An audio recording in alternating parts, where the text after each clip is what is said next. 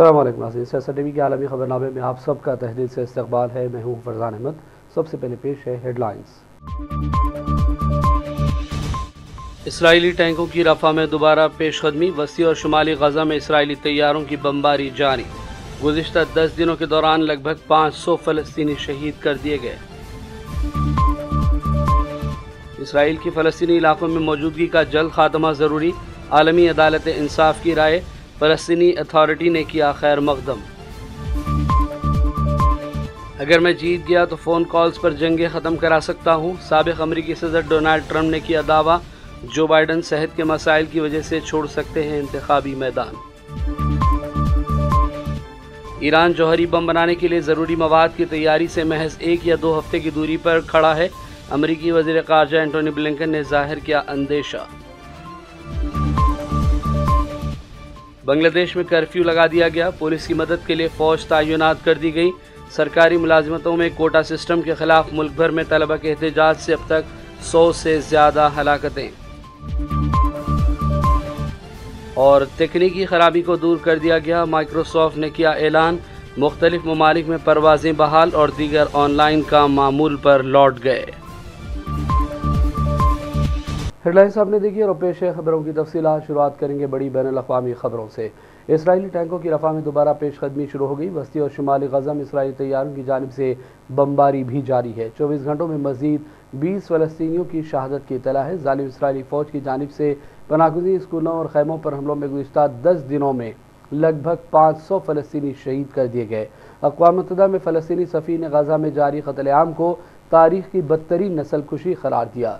याद रहे कि सात अक्टूबर से गजा में जारी इसराइली जाहियत में उनचालीस हज़ार से जायद फ़लस्तनी अब तक शहीद हो चुके हैं, जिनमें बच्चों और ख़वातीन की बड़ी तादाद शामिल है। फ़लस्तनी अथॉरिटी ने इसराइली पार्लिमान की जानब से फ़लस्तनी रियासत के क़्याम की मुखालफत में मंजूर करदा करारदाद की मजम्मत की। और नितनयाहू की हुकूमत पर खत्े को अफरा तफरी की गहरी खाई में धकेलने का इल्ज़ाम भी लगाया। अकवा मतदा ने कहा कि इसराइली पार्लिमान में फ़लस्तीन के ख़िलाफ़ वोटिंग से मायूसी हुई है।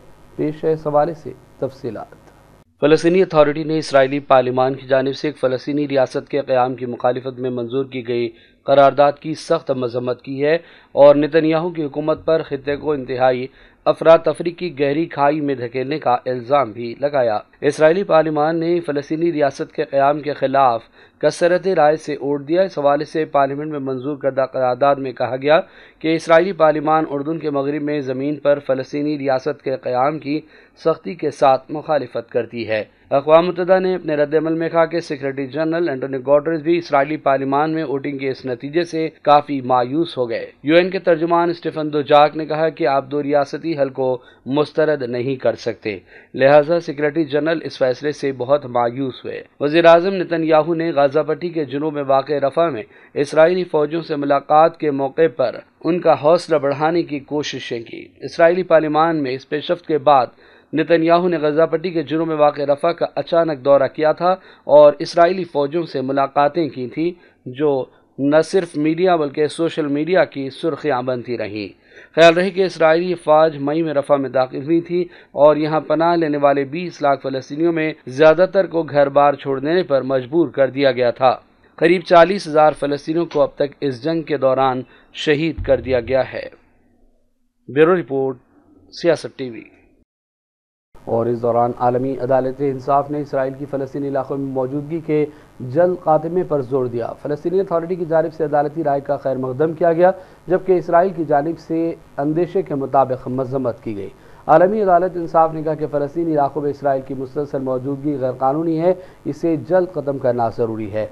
आई सी जे के सदारती जज नवाफ सलाम ने कहा कि इसराइल को जल्द से जल्द ये कब्ज़ा ख़त्म कर देना चाहिए। सदर जज का यह भी कहना था कि रियासत इसराइल की ज़िम्मेदारी है कि वो मकबूजा फ़लस्तनी इलाके में अपनी गैर कानूनी मौजूदगी फौरी ख़त्म करे। दूसरी जानब फ़लस्तनी वजारत खारजा ने अकवा मुतदा की अली तरीन अदालत की राय को फ़लस्तीन के लिए अजीम दिन करार दिया और कहा कि यह तारीखी और क़ानूनी तौर पर एक बड़ा दिन है। ये दुनिया का सबसे अली तरीन अदालती इदारा है और इसने इसराइल की जानब से बैन अवी कवानीन की खिलाफ वर्जी करते हुए फ़लस्तनी सरजमीन पर तवील कब्ज़े और इस्तेमार के ख़िलाफ़ बहुत तफसीली तजिया पेश किया है। अमेरिका के सबक सदर डोनाल्ड ट्रंप ने कहा है कि उन्होंने यूक्रेन के सदर जिलेंस्की से फ़ोन पर बातचीत की और इनसे वादा किया कि अगर वो व्हाइट हाउस में वापस आ गई, यानी दोबारा सदर बन गए तो यूक्रेन और रूस के दरमियान जंग ख़त्म कराएँगे। ट्रंप ने कहा कि अमेरिका का आइंदा सदर बनने की सूरत में वो दुनिया में अमन कायम करेंगे और जंग ख़त्म करेंगे, जो बहुत सी जानें ले चुके हैं। इस दौरान ऐसी रिपोर्ट्स आ रही हैं कि सियासी दबाव और सेहत की खराबियों के दरमियान मौजूदा अमरीकी सदर जो बाइडन इंतबात में मुकाबला छोड़ने पर गौर कर सकते हैं।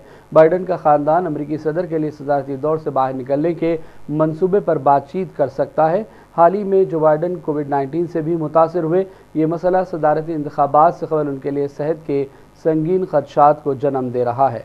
जबकि ट्रंप मजीद ताकतवर उम्मीदवार के तौर पर उभर रहे हैं। वो जंग ख़जाने और अमरीकी मीशत में बेहतरी के साथ दुनिया में क़्याम के वादे कर रहे हैं We must heal it quickly. As Americans, we are bound together by a single fate and a shared destiny. We rise together or we fall apart. I am running to be president for all of America, not half of America, because there is no victory in winning for half of America. So tonight, with faith and devotion, I proudly accept your nomination for president. और बात करेंगे बांग्लादेश के हवाले से। बांग्लादेश में चंद दिनों से जारी मुजाहरों के बाद मुल्क भर में कर्फ्यू लगा दिया गया और पुलिस की मदद के लिए फौज को तैनात कर दिया गया। बांग्लादेश में बढ़ती हुई कशीदगी के दौरान वजी अजम शेख हसीना ने अपने गैर मुल्की दौरे मनसूख कर दिए। बांग्लादेश में कई दिनों से सरकारी मुलाजमतों में कोटा सिस्टम के खिलाफ मुल्क भर में तलबा का एहतजाज जारी है जिसमें अब तक सौ से ज़्यादा अफराद हलाक हुए, जबकि दर्जनों जख्मी हुए। पेश है इस हवाले से सियासत टीवी की ये रिपोर्ट। बांग्लादेश में जारी मुजाहरों के बाद मुल्क भर में कर्फ्यू लगा दिया गया और पुलिस की मदद के लिए फौज को भी तैनात कर दिया गया। बांग्लादेश में कई दिनों से सरकारी मुलाजमतों में कोटा सिस्टम के खिलाफ तलबा का एहतजाज जारी है, जिसमें सौ से ज़्यादा अफराद हलाक हो चुके हैं। पंद्रह साल कबल वजारत अजमा के मनसब पर फायज रहने के बाद हालिया मुजाहरे शेख हसीना की आमिराना हुकूमत के लिए एक बड़ा चैलेंज बन गए। जुमे की रात देर गए, मुल्क भर में कर्फ्यू लगा दिया गया, जबकि वजी अजम के दफ्तर ने पुलिस की मदद के लिए फौज को बुला लिया। वजी अजम के प्रेस सेक्रेटरी नईमुल इस्लाम खान ने मीडिया को बताया कि हुकूमत ने कर्फ्यू नाफिज करने और सिविलियन हुकाम की मदद के लिए फौज तैनात की है। दारकूमत ढाका की गलियाँ बिल्कुल खाली थी, जबकि दो करोड़ की आबादी वाले शहर में अमन अमान कायम रखने के लिए फौजी जवान गश्त करते दिखाई दे रहे हैं। कर्फ्यू की खिलाफ वर्जी करने वाले चंद रिक्शा ड्राइवरों को पुलिस ने वापस भेज दिया और घरों में रहने की हिदायत दी। बांग्लादेश के प्राइवेट मीडिया के मुताबिक कर्फ्यू आइंदा रोज इतवार की सुबह दस बजे तक नाफिज रहेगा। प्रेस सेक्रेटरी नईमुल इस्लाम खान ने गैर मुल्की दौरों के हवाले से बताया कि वजी अजम ने स्पेन और ब्राज़ील के सरकारी दौरे पर जाना था, लेकिन पुरतशद मुजाहरों के बाद उसे मनसूख कर दिया है। रवा महीने के आगाज़ से ही बांग्लादेश में रोज़ाना की बुनियाद पर कोटा सिस्टम के खिलाफ मुजाहरे जारी हैं। मौजूदा सिस्टम के तहत निफ से ज़्यादा सिविल सर्विस की पोस्ट एक मखसूस ग्रुप के लिए मुख्त है, जिसमें पाकिस्तान के खिलाफ उन्नीस सौ इकहत्तर की जंग लड़ने वालों के बच्चे शामिल हैं। मुबसरीन का कहना है कि इस स्कीम के ज़रिए शेख हसीना की हिमायत करने वाले हुकूमत हामी ग्रुप से वाबस्ता अफराद के बच्चों को फ़ायदा पहुँचाया जा रहा है। अवामी लीग के तलबा विंग और कोटा सिस्टम की मुखालफत करने वाले मुजाहरीन के दरमियान झड़पों में चार सौ से जायद अफराद के जख्मी होने की भी इतलात हैं। इंसानी हकूक की बैन अवी तंजीम एमनेस्टी इंटरनेशनल और अमरीकी महकमा खारजा ने बांग्लादेश में पुरतशद वाक़ात की मजम्मत की है। वजी अजम शेख हसीना की हुकूमत पर ज़ोर दिया कि वह पुरमन मुजाहरीन पर क्रैकडाउन न करे। इस दौरान अकवा मतदा के सेक्रेटरी जनरल एंटोनियो गोतरस ने भी हुकूमत पर ज़ोर दिया कि वह मुजाहरीन को किसी भी तरह के ख़तरे और तशद से बचाएँ। Bureau report, Siasat T V और इस दौरान बांग्लादेश में जारी एहतजाज के दौरान सबक हिंदुस्तानी सेक्रेटरी खारजा हर्ष बी श्रृंगला ने इस पर गहरी फिक्रमंदी ज़ाहिर की और इल्ज़ाम लगाया कि पाकिस्तान की आई एस आई और दीगर ग्रुपों के मुजाहरों में मुलविस होने को मुस्तरद नहीं किया जा सकता। उन्होंने कहा कि शेख हसीना को इस मामले में सही सिमत में कदम उठाने की ज़रूरत है। अमेरिका के वजी खारजा एंटोनी ब्लिंकन ने खबरदार किया कि ईरान जौहरी बमरानी के लिए ज़रूरी मवाद की तैयारी से महज एक या दो हफ़्ते दूरी पर खड़ा है। तहम उन्होंने इस मौके पर इस बात से गुरेज किया कि अमेरिका इन एक या दो हफ्तों को इस तरह ईरान के आगे बढ़ने के लिए छोड़ेगा या फिर अमेरिका का रद्दमल और हमत अमली कुछ और भी हो सकती है। वज़ीर खारजा एंटोनी ब्लिंकन ने कहा कि इस वक्त ईरान की जौहरी अहलियत का मामला और उससे जुड़ी खबरें। नए ईरानी सदर मसूद पेशकियान के इंतखब के बाद आई, जिन्होंने अपने सदर बनने के बाद ईरान को उसकी सिफारती और आलमी तनहाई से निकालने की कोशिश कर रहे हैं। नए ईरानी सदर ने ईरानी जौहरी प्रोग्राम के हवाले से 2015 में छह बड़े ममालिक के साथ होने वाले जौहरी माहे की बहाली के हवाले से बातचीत की है। दुनिया भर में पेश आए आईटी रुकावटों और वसी पैमाने पर फनी खराबी ने एयरलाइन सिस्टम को मुतासर कर दिया था। बड़े पैमाने पर सामने आने वाले तकनीकी खराबी की वजह क्या थी, इसकी जाँच जारी है। सार्फिन ने इलेक्ट्रॉनिक प्रिंटिंग के बजाय हाथ से लिखे हुए हवाई जहाज़ के टिकटों की तस्वीर को सोशल मीडिया पर शेयर किया और उनका मवाजना कदीम ज़माने के सफ़री अंदाज की तस्वीर से क्या है। चंद मुसाफिरों ने कहा कि खराबी की वजह से बैन अवी हवाई अड्डे पचास साल पीछे चले गए, क्योंकि परवास की तफसीत भी हाथ से लिखी गई थी। कई एयरपोर्ट्स पर हाथ से लिखे हुए बोर्डिंग पास दिए गए। माइक्रोसॉफ्ट ने ऐलान किया कि उसकी एप्लीकेशन के लिए बड़े पैमाने पर आई टी की बंदिश की खराबी की वजह तय हो चुकी है। ये खराबी विंडोज़ सिस्टम के सार्फिन के लिए अपडेट के दौरान सामने आई। ये कोई सिक्योरिटी वाक़ या फिर साइबर हमला नहीं था। याद रहे कि जुमे को तकनीकी खराबी से हवाई अड्डों, एयरलाइंस, मीडिया और बैंकों के कामों में रुकावटें आई थीं और दुनिया के कई ममालिक को मुश्किल का सामना करना पड़ा। इस दौरान अब माइक्रोसॉफ्ट ने यह ऐलान भी किया है कि तकनीकी खराबी को दूर कर लिया गया है। कई ममालिक इससे मुतासर हुए थे, लेकिन अब इतना है कि इससे जुड़े तमाम काम मामूल पर लौट गए हैं। और अब आखिर में हेडलाइंस पढ़ा रही है एक और नज़र। इसराइली टैंकों की रफा में दोबारा पेशकदमी वसी और शुमाली गजा में इसराइली तैयारों की बमबारी जारी। गुजशत दस दिनों के दौरान लगभग 500 फलस्तनी शहीद कर दिए गए। इसराइल की फ़लस्तनी इलाकों में मौजूदगी का जल्द खात्मा ज़रूरी। आलमी अदालत इंसाफ की राय, फ़लस्तनी अथॉरिटी ने किया खैर मकदम।